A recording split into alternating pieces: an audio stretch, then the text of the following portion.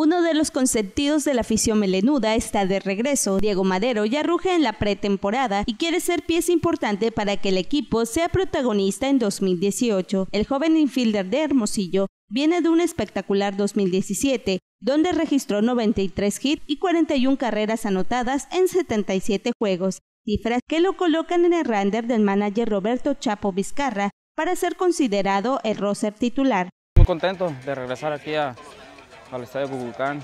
Ya tenía ganas de, venir por estas tierras, ¿no? entonces ya estamos listos a darle la pretemporada. Sí, pues eh, los últimos años se han, se han reforzado muy bien, ¿no? entonces este año no fue la excepción. Buenos extranjeros, eh, buenos nacionales también, ahí Luis Juárez, Walter Ibarra, y han hecho pues buen trabajo ellos a lo largo de su carrera ¿no? y esperemos que esa temporada sea igual.